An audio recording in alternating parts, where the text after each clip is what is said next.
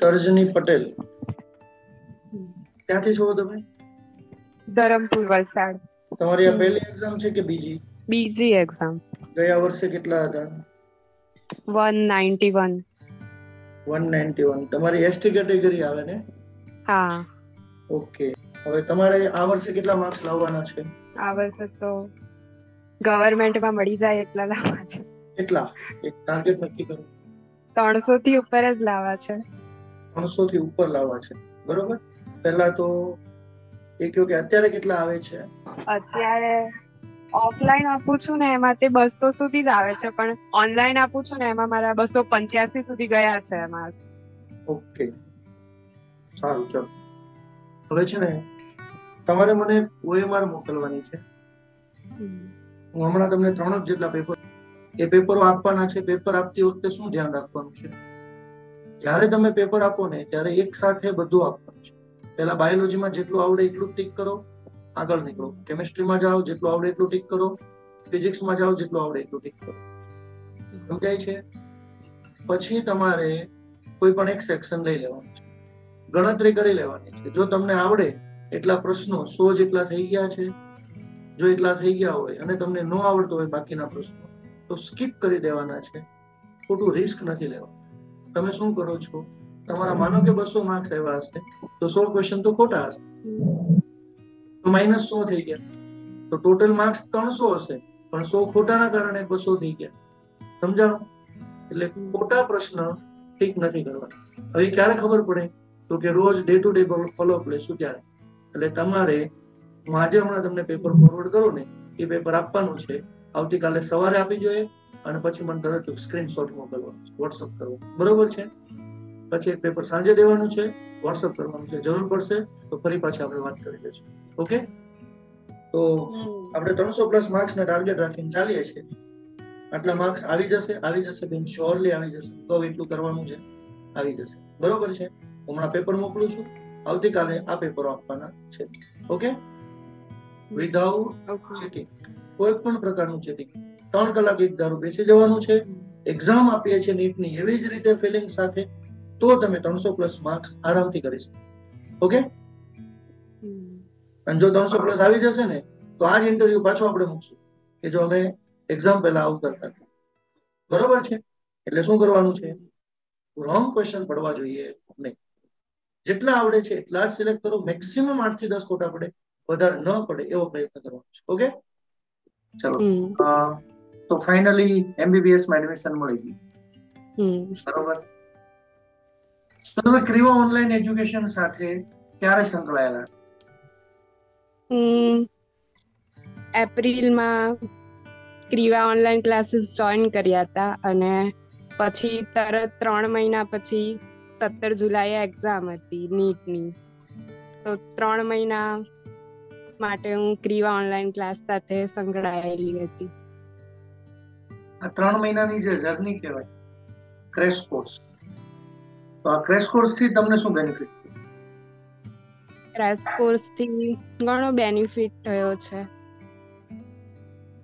બધા online lectures જે ચાલતા રેગ્યુલરલી એના લીધે ઘણો ફાયદો થયો છે અને ઘણું બધું શીખવા મળ્યું છે. જે અમે સ્કૂલમાં પણ નહીં શીખ્યા એવું બધું શીખવા મળ્યું છે અને કયું ઇઝી ઇઝી વે રીતે કઈ રીતે બધું યાદ રાખાય એ બધા સર કહેતા અને એનાથી જ હું આગળ વધી છું અને આજે હું અહીંયા છું. ક્યાં એડમિશન લીધું તમે? નરેન્દ્ર મોદી મેડિકલ કોલેજ અહેમદાબાદમાં. સરસ. જ્યારે તમે ઓનલાઈન વિચાર્યું હતું કે હું ઓનલાઈન કોર્સ કરીશ ત્યારે મનમાં ઘણા બધા પ્રશ્નો હોય. કેવા પ્રશ્નો હતા? મતલબ એનાથી પછી નીટમાં ક્લિયર એક્ઝામ ક્લિયર થશે કે નહીં થશે એ પહેલો તો ક્વેશ્ચન હતો. અને પછી કેવું બધા સર મેમ હશે કેવું ભણાવશે ઓનલાઈનમાં રેગ્યુલર લેક્ચર લેતા હશે કે નહીં લેતા હશે? એનાથી કશો ફાયદો થશે કે નહીં? એ બધા ઘણા બધા સવાલો હતા. તો એ સવાલના જવાબો શું શું છે? એ સવાલનો બધાનો એક જ જવાબ છે કે ક્રિવા ઓનલાઈન ક્લાસીસ બેસ્ટ છે. જો તમારે એમબીબીએસમાં એડમિશન લેવું હોય અને જો તમે મહેનત કરો અને તમે ક્લાસીસ સાથે સંકળાયેલા છો ક્રિવા ઓનલાઈન ક્લાસીસ સાથે તો તમને સફળતા મળશે જ. પણ તમારે સામે એટલી મહેનત કરવી પડશે પછી ખાલી ખાલી અમારો સિક્કો લાગે તો મળે એવું જરૂરી નથી. બરોબર મહેનત બે બાજુ કરવી પડશે. અમે અહીંયા બેસ્ટ ગાઈડન્સ આપીશું એ અમે શ્યોરલી કહીએ છીએ. કેવી રીતે તમારે એક્ઝામ ક્રેક કરવી? ઓપન કેટેગરીના સ્ટુડન્ટને છસો પ્લસ કેવી રીતે લાવવા? એસટી કેટેગરીના સ્ટુડન્ટને ત્રણસો આજુબાજુ કેવી રીતે લાવવા? અને એમબીબીએસમાં કેવી રીતે એડમિશન લેવું? આના ઉપર પ્રેક્ટિકલ વર્ક થતું હોય છે. સરસ. તરજનીબેન તમે અમારો સંપર્ક ક્યાંથી કર્યો? તમે તો ધરમપુરમાં રહ્યો છે ગામડામાં. અંદરના ગામડામાં. અને અમે તો સુરત. હું યુટ્યુબ પરથી વીડિયો જોયા હતા ફર્સ્ટ ટાઈમ કે ક્રીવા ઓનલાઈન ક્લાસીસ છે સુરતના છે. પછી થોડા ઘણા વીડિયો જોયા અને પછી થયું કે આમાં જોડાવું જોઈએ આ ક્લાસીસમાં. એટલે પછી સંપર્ક કર્યો અને પછી આ ક્લાસીસમાં જોડાઈ. કેટલી ફીસ ભરેલી હતી તમે? Fifty thousand. શું વાત કરે? હા. પચાસ હજાર? નહીં નહીં ફિફ્ટીન થાઉઝન્ડ ઓકે પંદર હજાર હા એ વાત બરોબર છે. હું ઘડી ચોકી ગયો. તાર પાસે પચાસ હજાર કોને લીધા? સરસ સરસ. ઓકે ફિફ્ટીન થાઉઝન્ડ તો જયારે પંદર હજાર રૂપિયા ફીસ ભરતા હતા ત્યારે મેં એવો વિચાર આવ્યો હતો કે ફી ભર્યા પછી જો પ્રોપર ન આપ્યું તો આપી પાછી નહીં મળે. આવ્યો તો એવું વિચાર? હા થોડો થોડો આવ્યો તો પણ પછી થયું કે ના બરાબર છે. કારણ કે સામાન્ય રીતે ઓનલાઈન ના કેસીસમાં કેવું થતું હોય છે? મોટા ભાગના પેરેન્ટ્સ એવું વિચારતા હોય કે ભાઈ સર તો ફી એક સાથે લે છે અને ફી એક સાથે લીધી. હવે જો એ ફી પાછી નહીં આપે તો એ રેગ્યુલર ક્લાસ નહીં લે તો એક્ઝામો નહીં લે તો. તો આ આના વિશે તમારો શું અનુભવ છે? પહેલા વિચાર આવ્યા હતા કે શું થશે પણ પછી થયું કે આટલા પૈસા આટલા ઓછા પૈસામાં આટલા સારા ક્લાસીસમાં બધી સુવિધા આપવાની મતલબ બેસ્ટ છે આ. અને પ્રોપર ગાઈડન્સ પણ મળ્યું છે બધાને. તારા ભાઈ બહેનોને શું મેસેજ આપીશ મારે આજ મેસેજ આપવો છે કે બધા પોતાનું બેસ્ટ આપો એક્ઝામમાં અને આ જેટલું હાર્ડ લાગે છે એટલું હાર્ડ નથી. જો તમે મહેનત કરો તો તમને પણ સફળતા મળશે જ. કોચિંગ કોચિંગનો રોલ શું હોય છે? કોચિંગથી શું બેનિફિટ થાય? કોચિંગ તમને પ્રોપર ગાઈડન્સ આપશે, જે તમને બધેથી નહીં મળશે. તમને કશે બી મતલબ તમને એક્ઝામમાં સફળતા માટે એક પ્રોપર ગાઈડન્સની જરૂર છે. તમને ક્રીવા ઓનલાઈન ક્લાસીસમાંથી બેસ્ટ પ્રોપર ગાઈડન્સ મળશે. અને કઈ રીતે વાંચવાનું છે, કઈ રીતે એક્ઝામ આપવાની છે, એ બધું ખબર હોવી જરૂરી છે. એના માટે એક પ્રોપર ગાઈડન્સ જરૂરી છે. તો સારી એવી સ્કૂલમાં ભણતા હતા. અને તમે અહીંયા પણ ભણ્યા. તો આ બે વચ્ચેની મેથડમાં તમને ક્યાં હેલ્પ થઈ? કે ભાઈ અહીંયા મને આ વસ્તુ સારી લાગી જેથી તમારી એમબીબીએસની જર્નીમાં તમને હેલ્પ થઈ. મતલબ ત્યાં ગાઈડન્સ મળતું પણ એમ જેટલું અહીંયાથી મળ્યું એટલું ત્યાં નહીં મળ્યું.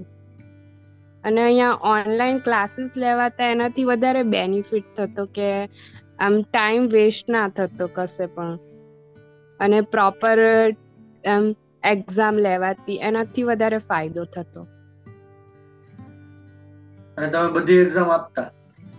હા. આપણો જૂનો વીડિયો છે એ પણ હું જોડે ક્લબ કરી મૂકીશ.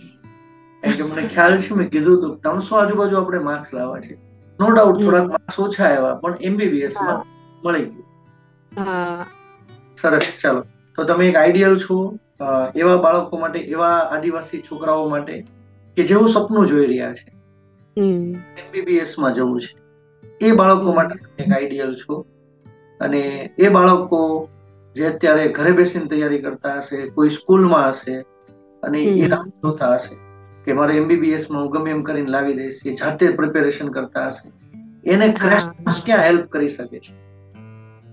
ક્રેશ કોર્સ પ્રોપર ગાઈડન્સ માટે હેલ્પ કરશે. કે આપણે શું વાંચવાનું છે, શું નહીં વાંચવાનું છે. કેમ કે આપણને ખબર છે કે આટલું વાંચવાનું છે, પણ એમાંથી બેસ્ટ કયું છે વાંચવાનું, એના માટે ગાઈડન્સ જરૂરી છે. અને એના માટે ક્રેશ કોર્સે મને ઘણી હેલ્પ કરી છે પ્રોપર ગાઈડન્સ માટે. જેનાથી હું આજે અહીંયા છું. આ નવી જર્ની માટે તમને ખૂબ ખૂબ શુભકામનાઓ. ખૂબ સારા ડોક્ટર બનો અને ઓલવેઝલી હું ક્લાસમાં પણ એક વાત કહું છું કે ડોક્ટર કેવા બનવાનું છે? એકદમ બેસ્ટ અને પૈસા નહીં જોવાના કોઈ દિવસ. પૈસા તો આવશે જ. ડોક્ટરે ડોક્ટરનું કામ કરવાનું છે. સરસ. ચાલો. તો તજનેબેન તમારો ખૂબ ખૂબ આભાર. તમે સમય કાઢો. અમને ઇન્ટરવ્યુ આપ્યું. અને આ ઇન્ટરવ્યુ વિદ્યાર્થીઓ સુધી પહોંચશે. ઘણા વિદ્યાર્થી ઇન્સ્પાયર થશે ઘણા પેરેન્ટ્સ ને ભરોસો બેસશે ઘણા વિદ્યાર્થીને અંદરથી ટ્રસ્ટ આવશે કે નહીં હું કરી લઈશ. અને બસ એ ટ્રસ્ટ જરૂરી હોય છે. એક વખત ટ્રસ્ટ ડેવલપ થઈ જાય ને પછી માધ્યમ કોઈ મતલબ નથી.